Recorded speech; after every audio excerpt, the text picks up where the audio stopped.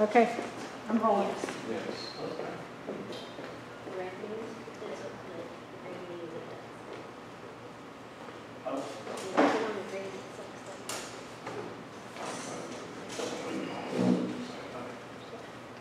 Tracy, get your help again, please. I never know how to work this thing. I struggle to, I struggle to.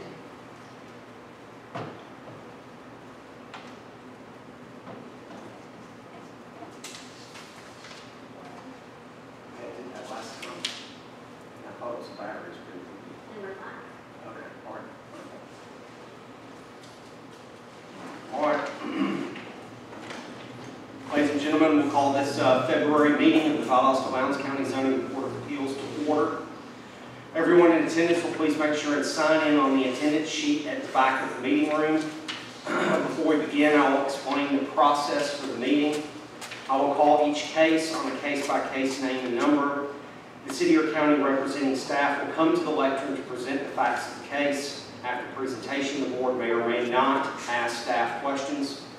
Once the board has heard the case and asked all questions necessary of staff, we will move to hearing from either the applicant or the applicant's representation.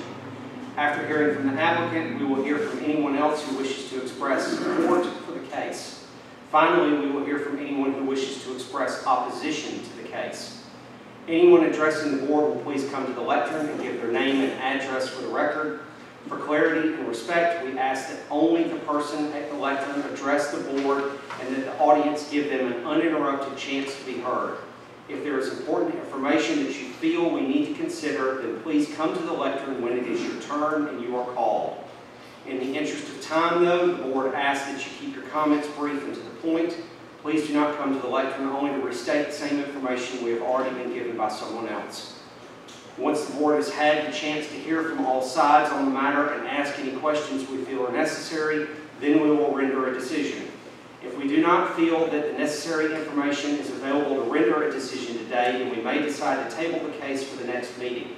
Please be aware that this board is here today only to address variance applications to the zoning codes for the Lowndes County and the city of Valdosta. This is the only matter on which this board has been given the power to render a decision. We cannot and do not have the power to address any other matters that are not covered by the zoning codes of Lowndes County or the city of Valdosta. Now, we will begin, We'll call the first case. It's a Valdosta case, APP 2020-01, Keith Quarles, 16 Bellevue North. Matt, I believe you're presenting today? Yes, sir.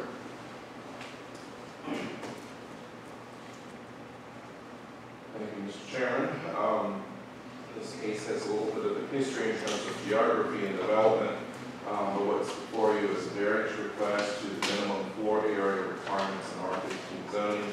Uh, Property's address, which is new, which is sixteen Bellevue North. And Tracy's right after this one. It's been having, it's been having connection issues and James just had to rehook it up, so apparently it's lost connection. No, it's a cord issue on the back and I'm not tall enough to reach the cords. Okay, well, in your packet, is everything that you need to know. Um, Bellevue North is at the very north end of Bellevue Drive. It is a planned sort of condominium development that was back thirty years ago. Variety of houses, most of them villa style, um, shared common walls, patio homes, single home. In the very back of that, at the end of the private road system, um, the developers built a clubhouse thirty years ago for the neighborhood.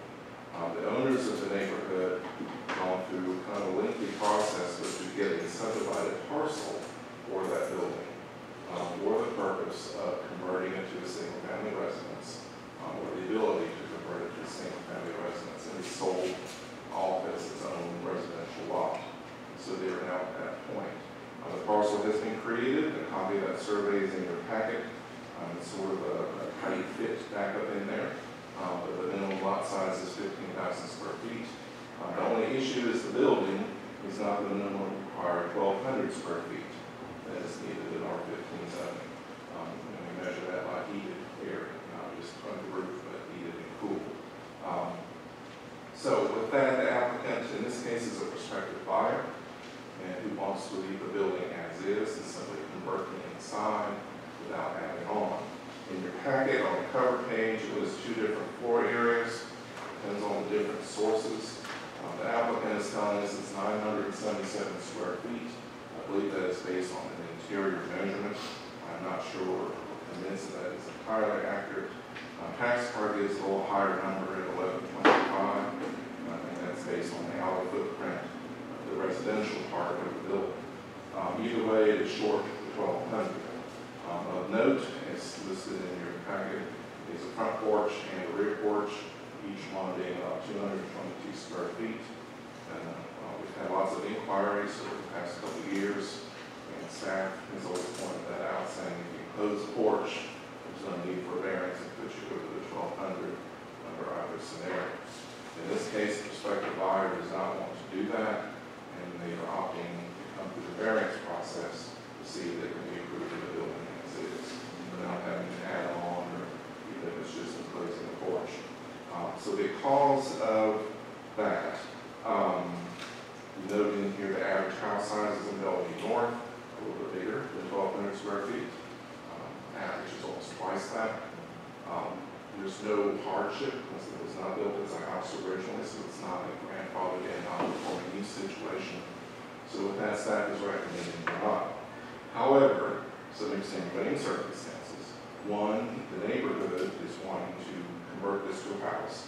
It is part of their private development.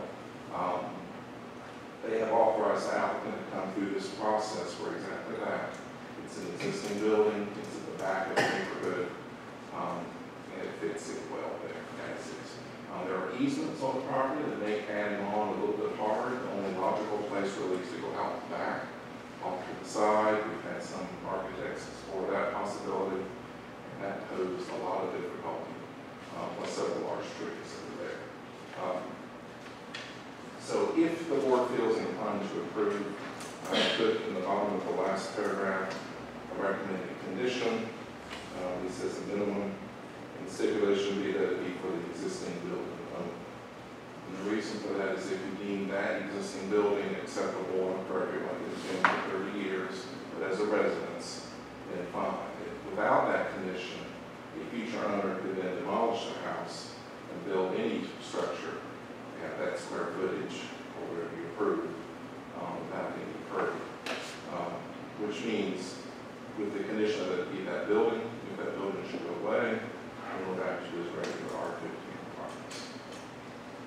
So that was, that answer the questions you might have, I think we have some neighborhood representatives here, who know a lot more about the history of it than I do, and I think they're eager to talk to you.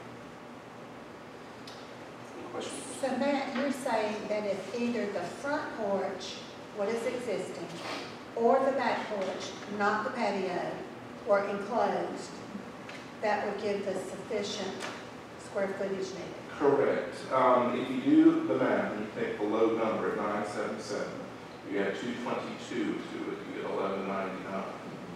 Okay, and we had this conversation the applicant. I'm convinced there is inches in there that would make up the square foot difference. Uh, my thought is just show that on the floor plan, so to me, that's the worst case scenario. If the house is actually, or the building is actually eleven twenty-five to start with, and then adding two twenty-two puts it way over even half of a porch would put it over the twelve hundred at that point. And I'll go ahead and mention, Matt's probably aware of this, but I got an email from the applicant this morning, as did Matt, that the applicant was not, prefers not to add and that email was provided for you at your station.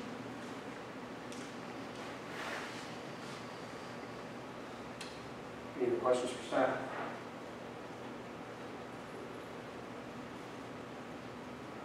We have pictures of the house, very machine there, but those will be all been out there to look at. Very familiar. Already there multiple times. It's the only good place to turn around in that neighborhood is go all the way to the end. Parking is a, is a problem and always has been. The big house out of it, but generally don't have parking problems. Fine. Okay. Thank you. Would the applicant or the applicant's representation wish to address the board? I'm either the applicant, I'm Mary Bellinger. Uh, My address is three Bellmead North, Valdosta. I'm president of the Bellmead North Property Owners So we are the property owners. A little background information. The purchase contract for this was signed back in September of 2019.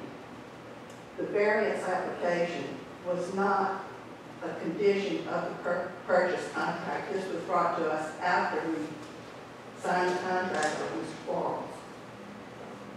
We have been anxious to accommodate Mr. Quarles and have gone along with this application, but there have been many delays, bringing us six months later to where we are now.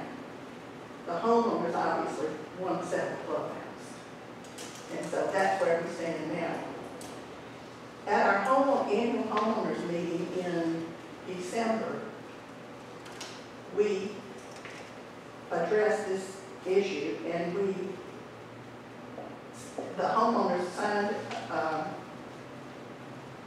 this stating that we are the homeowners, we are also the architectural committee, which would have to approve any plans and specifications for an addition to the clubhouse. What we want most is for the properties to remain as is, to appear as is on the exterior. We don't want something that looks very different in a very small area. And basically, oh, I'll pass these comments around. This is all of our homeowners. There are fifteen of us, ten signed, but the five who did not sign it are in agreement with us, but just were not at the meeting.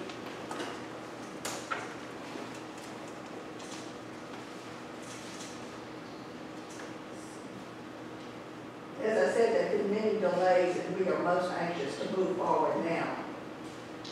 We don't object to what Mr. Quarles proposes, but, and we do recognize, as Matt said, many building setbacks, servitudes, and easements. To us, as homeowners association, to the country club, utility surveys, building setbacks, there's not a whole lot to add on to. Another consideration is that our, our street is a private drive that we maintain, and any major addition we fear would cause a lot of damage to our access, and that's, and a lot of disturbance to our neighbors, a lot of whom are elderly, and there's been major concern about that. We do want another neighbor. We don't use the clubhouse. It's thirty years old and it requires a lot of maintenance, so we really want to sell it. We don't have an objection to Mr. Quarles' application, but it's not our application, and I guess that's all I can say, and I'll answer any questions you might have. And I'll go ahead and let the board know, Mr. Had fully intended to be here, unfortunately, he notified us yesterday that he has to leave, so he's Then I will repeat that we very much would like a resolution now. And I'm happy to answer any questions. I don't know if you're at liberty to say this, but in the six months that this has been rocking along, because I noticed there was a for sale sign out there, have y'all still had interest in the clubhouse during that six months? We have, and I have shown it, and I continue to show it, and as I say, it's not sold till it's sold. But I can't commit, and I, just within the last two weeks, I've had someone who has a serious interest in, who is waiting for me to tell them the outcome of this and how we're gonna apply. And they are aware that it needs to be added on to be in compliance. I contacted them after I got the copy of the report to see if they would be willing to close in the back porch, and they indicated yes. If they were to, either Mr. Quarles or someone else were to buy it and make a sunroom, glass on the backside so it doesn't face the front, would that satisfy the architectural side of it, that we didn't enlarge it beyond what was already pretty much on the roof now? I, it, that's already been discussed, and it will be acceptable.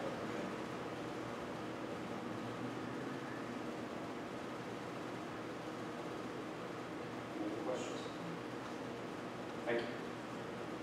Um, Is there anybody else here in support of this application that wishes to address the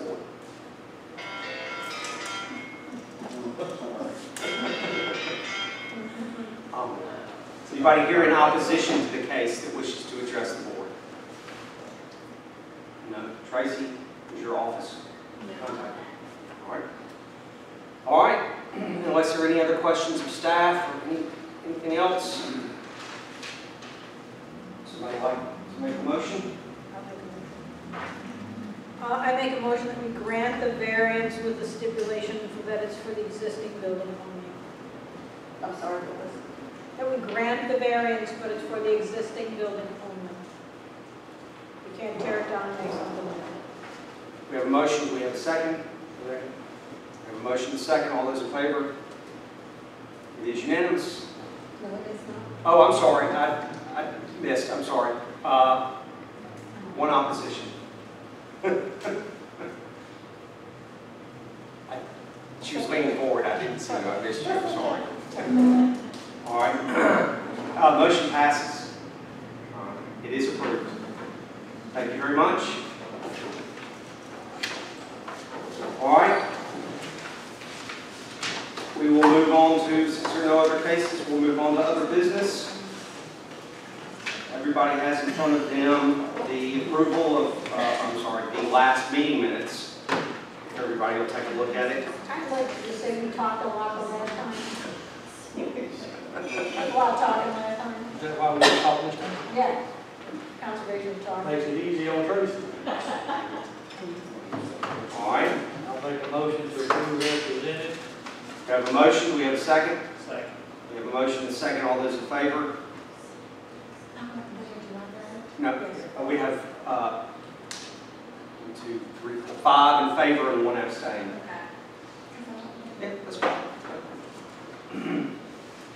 All right, uh, attendance review, I believe the only one that's absent is John. And I spoke to him yesterday, he said he was gonna attend, and I did not. Okay, Well, um, I guess we'll mark him absent until we find out if there's a reason next time.